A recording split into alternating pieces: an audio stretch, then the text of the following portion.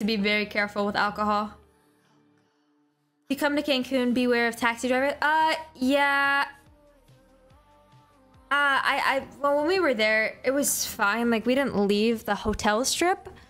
Um, and like, we wouldn't take like an actual like taxi. Like, we didn't really go anywhere. The whole point of like getting a resort, like right on the beach, all inclusive, is so like you can stay there, you know? You don't really need to like go anywhere. So, it's not like we were like adventuring out of the hotel strip, literally. We, barely even went out of our resort, so I can never give up to tequila because I get actual margarita cravings. Seriously?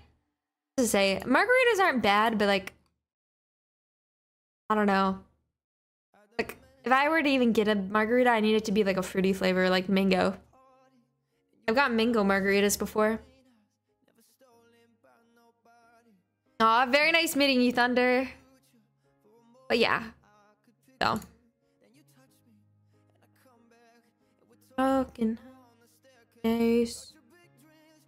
Big screen.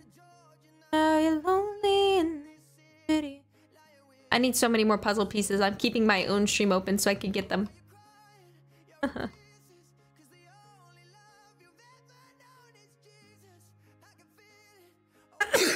sorry.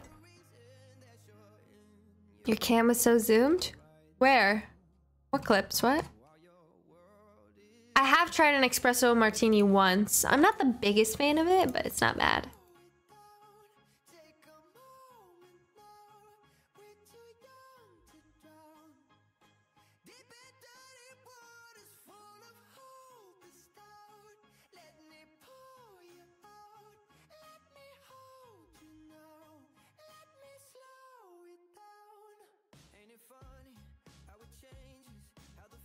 what you.